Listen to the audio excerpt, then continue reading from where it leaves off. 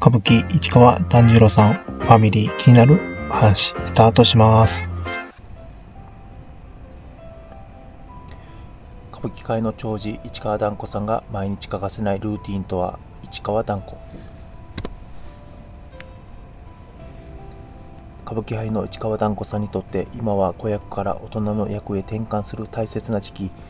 大きな挑戦を重ねながら磨かれるほどに澄んだ輝きを放つ19歳の等身大に迫った。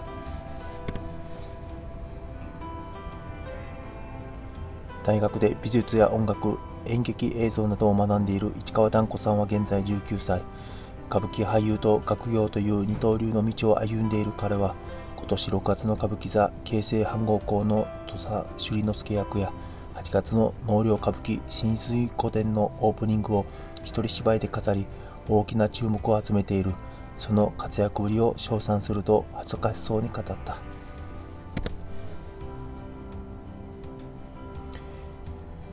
知識がとても浅いのでまずは古典をちゃんと勉強してもっと歌舞伎を知らなければなりません。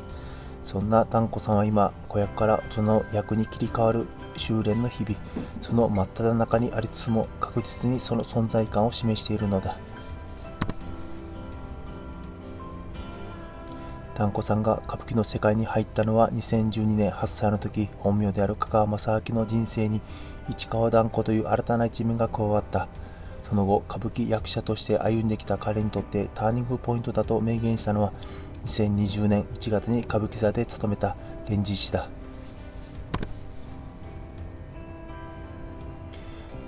中学2、3年くらいになって自分の演技について考えるようになったのですがその時に登竜門のような作品である蓮司師の古事詩を務めさせていただきました。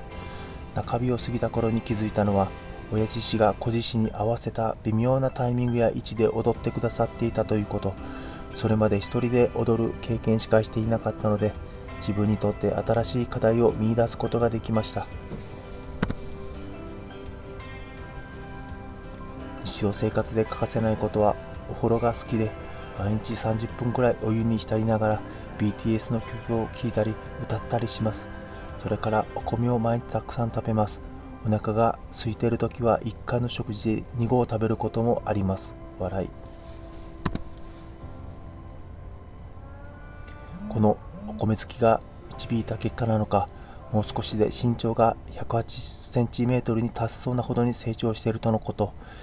19歳らしい一面もありながら團子さんは自己分析ができていてちゃんと自分を知っている。ファンからのコメントはレンジ氏圧巻でした。